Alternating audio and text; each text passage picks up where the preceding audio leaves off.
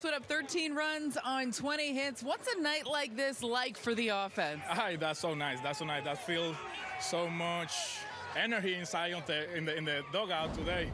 I love that. You contributed in a big way as well. What does it mean to you to have an impact on the game? I mean, this is the, the work that we're trying to do every day. Like try to put the the best that you can to to get the team win, and we do that today. How comfortable how comfortable have you felt at this level? It seems like you fit in seamlessly. I don't know how I, I don't know how to respond that, but at the same time, right now, I just feel like working in my breath all the time and those things. Do you feel okay in the outfield? Yeah, yeah, I feel good. Oswaldo, thanks for the time. Thank you so much.